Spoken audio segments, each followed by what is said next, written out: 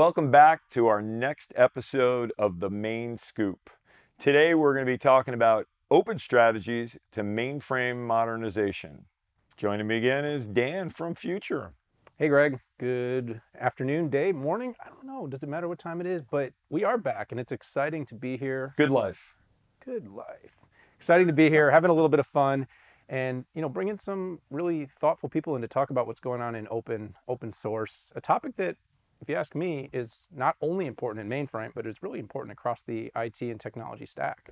Yeah and we're actually going to talk about open broadly right? When people think about open they right away go to open source but it's about opening up communication across applications cross middleware technologies and involving open source integrating with middleware that's coming from companies out there as well as homegrown applications. Yeah, so as always, it's fun for us to chat a little bit about it, but this show is all about bringing some smart outside thinkers into the show. So, Greg, you want to introduce our guest? Yeah, today we have John Mertic with us. He's from the Linux Foundation and is the project manager for the Open Mainframe project. John. Awesome. Well, thank you for inviting me to join you both. Um, and excited to talk about open source. It's something I've been doing for over two decades now in all sorts of different levels. And uh, you're right, it's an exciting time in open source and, and lots to talk about. So let's start off. You know, we gave our little spiel on why we think it's important, but you know, give us your view. Why is this open topic so important?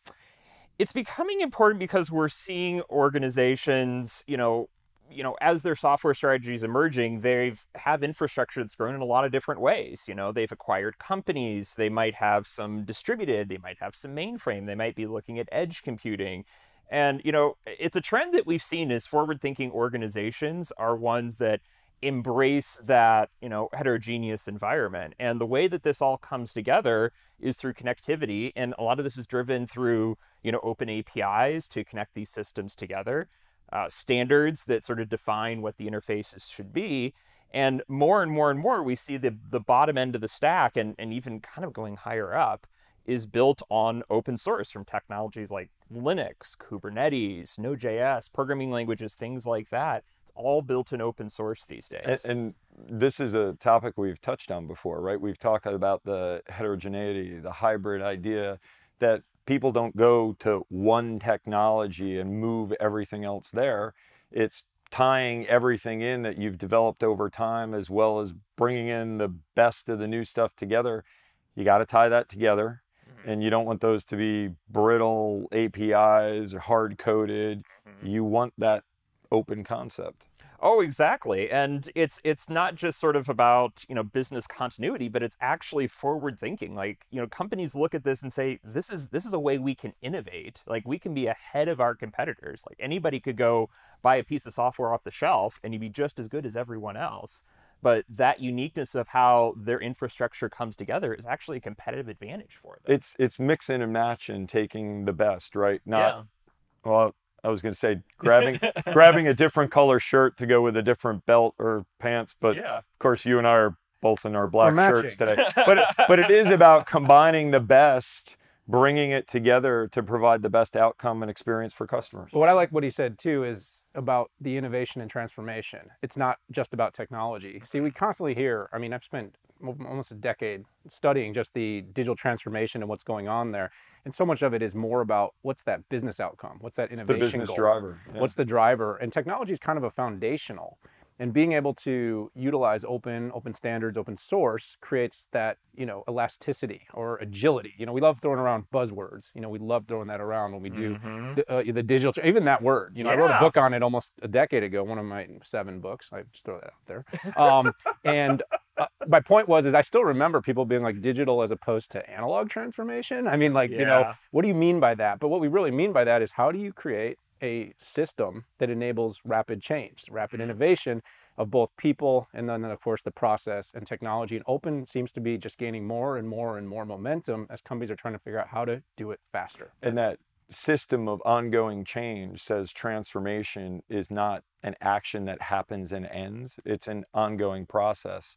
So you're opening these things up so you can connect them to what you have today and what you developed in the past, but you don't know for sure what's going to be the next technology. You want to be prepared to be able to tie that in and leverage it for value to drive that business outcome. So, John, talk a little bit about what the Linux Foundation and the Open Mainframe Project is all about. Sure. So, the Linux Foundation, it's been around for about two decades, and it came together actually with a combination of open standards along with open source coming together. And it's the home for the Linux kernel and over a thousand open source projects from, you know, Kubernetes, Node.js, but also in a number of industry verticals like the motion picture industry, the energy industry, the automotive industry. And the idea of what it's about is providing the space for this open innovation to happen uh, decentralized across the globe, you know, from, from, from people from different countries, cultures, competitors coming together and collaborating in the open. Uh, and its its area is to provide the home and space for that. Uh, within the Open Mainframe project, it's one of the hosted foundations that's a part of it, which solely focuses on the mainframe space and helping provide an open uh, environment for the mainframe community to work together, to build projects, to collaborate on ideas. Customers, uh, partners, everybody. competitors, the whole ecosystem. Students, right? everybody. Yeah. Like the whole, everything from top to bottom, everyone's coming together and collaborating. A great example of the remote world we live in now is actually how technology and software and open standards have actually set up innovation to take place mm-hmm. with nobody in the same office. Oh, yeah. And as we are starting to see companies trying to figure out this hybrid work future, which is super interesting because you're seeing kind of this tug of war, which I know isn't specific just to the Open Mainframe Project or Linux Foundation, but there are certain parts of the innovation stack that can be done in a completely disaggregated way with the workforce. And there's parts, Open has really created sort of a catalyst for things to be developed in standards. And like you said, people that may not even necessarily know each other are building on each other's work and creating innovation that ends up helping everybody. Yeah, you get the smartest people together. I mean, that's the whole idea. Get the together smart... virtually. Yeah, right? virtually. And once in a while, we're getting we together in person. We're right, yeah, we're right. not even actually here. Yeah, we're, this is this is all holograms. I did that. Uh, once, I did that once, by the way. I gave a keynote via a hologram. Oh, that'd be awesome. It was pretty neat. Um, but yeah, no, it's it's a unique opportunity because you get the smartest minds together um, to create you know unique stuff that you not any one company could do themselves. I mean that's what we see the projects that are brought here. I mean there's millions of open source projects out there. Linux Foundation hosts you know about a thousand of them, but the ones that we focus on are the ones that are critically important to our society: cloud infrastructure, mainframe, automotive, energy, things like that. That you know you any any of the companies that are part of it realize that these are bigger than any one of them and coming together is the only way you solve it and you get those smartest minds in the room and it makes each of the participating organizations like broadcom it makes their investment go farther so and you notice he comes back to automotive. This is a topic we've covered. Yeah, yeah. I think that's a He's subplot. got something special in his garage. I think the producers probably gave him some hints. He's got a Trans Am. Turbo Trans Am, don't you know? Did you build the turbo yourself? No, no, no. It came straight from PAS. So okay. Um... well, some of us are tinkerers, and some yeah. of us like to just enjoy the experience. So, yeah. some of us enjoy the experience of tinkering. So, yeah, no, tinkerers no, no. and thinkerers. Tinker, tinkerers and thinkers. Yes. well, you know, there's kind of that correlation between yeah. the you know the motorhead and the and the, and the coder. You know, people that want mm-hmm. to do it themselves and build stuff. And it's different outlet for creativity. Absolutely. So you started to allude to this a little bit, John, but I am interested. You know, can you talk a little bit about what you're seeing in the market? Some of the projects that are being built. Are there any any really cool examples on you know the OMP that you could share? Yeah, I mean the Zowe project for us has always been really the the bellwether, way out ahead of doing innovative things with z/OS, and, and you know, and it came to the market with the need for this uh, this ecosystem to evolve and provide a place uh, that newer technologies could much more easily integrate into the mainframe. Um, but it's also really set the standard of how these competitive organizations can collaborate. I mean, Broadcom, Rocket Software, BMC, IBM, Micro Focus, they're all coming to the bringing their innovations to the table. Any one of them could have built a product on their own with this, but they chose to come to the table directly and work yeah, together. I mean, this. if you if you think about how how it was founded and the history of it, the idea that we all had a common vision of where we believed the future was going to go and we realized that you needed to open up the mainframe and there was capabilities that needed to be there each of us were working in, in on a component or multiple components and we kind of realized wow if we pooled together if we worked with the community we'd get so much further faster so mm-hmm. it really was a few founding yeah. companies getting together and we put it out there in the world and and you saw other partners in the ecosystem coming yeah. in customers coming in and yeah. And you've been with it since, since day one. Since day floor. one, I've seen it seen it even before, and it and it's been exciting to watch, and it's really changed a lot of the tenor within the mainframe community from less of a mainframe or conversation to a mainframe and and we've even seen that with the projects that have that have been a part of the open mainframe project. I mean, we have some you know really historical ones like CBT tape, which everybody in mainframe I can mention that they'll know exactly what I'm talking about. Um, but what we're seeing is these projects, and we talked about you know open source being a connective across an enterprise what we see a lot of our projects doing is filling that gap between the mainframe and the rest of the enterprise. There's always a prime example of that, but we see work in the COBOL space that's happening. We see work in the Z-Linux space that's happening in that area. And, you know, it's an area where I think we have a niche to really innovate quite a bit. And, and we're seeing the biggest market interest come. Yeah, well, you definitely have these kind of hybrid ecosystems, and the word, what is it, competition? Yeah. You know, it does tend to, I would It's say, co-opetition. Competition. Not co-op. Like, Oh, you got the omp in there for comp? Yeah. Uh, yeah, but when you say co-opetition, you're more focused on the cooperation. But in the end, y'all Yeah. are still competing. You know, as an analyst, that's what I do. I'm paying attention to whether or not you're, you know, successfully competing with one another. But we talk we a lot tend not to compete. We win. you win. Okay, noted. I'll be in my next report. Mhm. But in, in in in all serious, you know, we tend to see when there is a certain amount of competition, a certain amount of cooperation that goes on, innovation moves forward, and who wins are ultimately the the customers. The customers ultimately win yeah. because they get better technology, they get better software. When there's too little competition in any particular area, Totally it creates a lot of risk. Oh, It- yeah. It, ruins the elasticity on the pricing. Um, there's a lot of things economically that go badly. So Mhm. you've hit a lot of great points here. As we sort of start to, to wrap up, we always like to kind of say, what's ahead? What are you looking forward to? What's going to be next for the open, you know, for your your project, for the Open Mainframe Project and Linux Foundation? The biggest thing that we're seeing in a lot of our communities, and maybe this is a little bit of a COVID thing as well, but we're seeing the maintainers of a lot of key projects, they're overwhelmed. There's a lot that lies on them. And one thing that we're really turning a big focus on is trying to take a maintainer first approach and help. How can we help support them? How can we help grow their communities? How can we you know help you know divvy out the task and how can we help them even you know bring in people that are going to fill in you know some of those roles? Because that's you know we're a big fan of sustainable open source not flash in the pan. Right. you know we want these things to continue on well past our time and we're starting to get maintainers thinking a lot of that direction.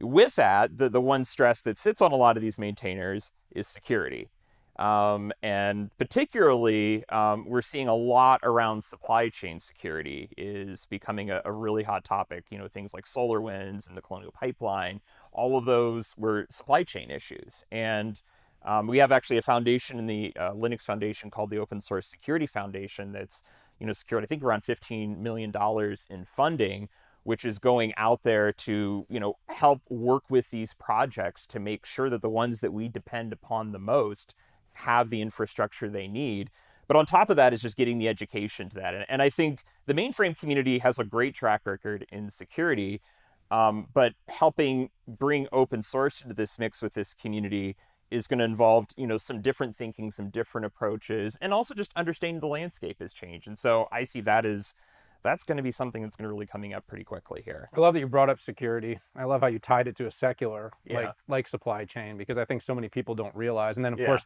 open security, supply chain, people start to think open with risk. And I think Mhm. that might be an interesting Oh, kind of way to to you know wrap this up too. Is talk a little bit about you how you're de-risking security by working as in open standards and open source. Because some people they'll immediately think open and they think, uh oh, Right. bigger risk. No, and it's it's honestly it's the exact opposite. The you get better code that's built. It's out there in the open. Yes, anybody can see it, but people can see the problems quickly. With a documented provenance, you know who submitted, where the code came from. Exactly. You can test it. You can look for known issues. Exactly. Yeah. I mean, there's just there's so much more rigor that happens in open source. I mean, not that commercial applications don't see that, but all of that rigor is out in the open. You see that. Like projects like Zowe have, um, you know, all of their code base out there, but they have SBOMs built for releases. They have security audits that are done. They have all of that that is brought out to the open. Um, the whole, you know, stack of where the licensing of software comes from.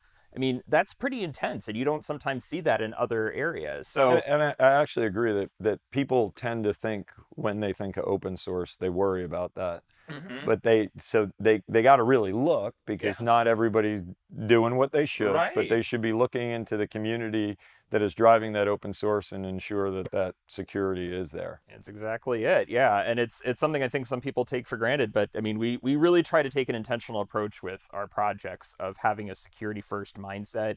You know, we get them training, we get them, you know, infrastructure, we get them materials and, you know, help give them guidance and even find peers in other industries that can help them as they're thinking about, you know, what it means to develop secure software.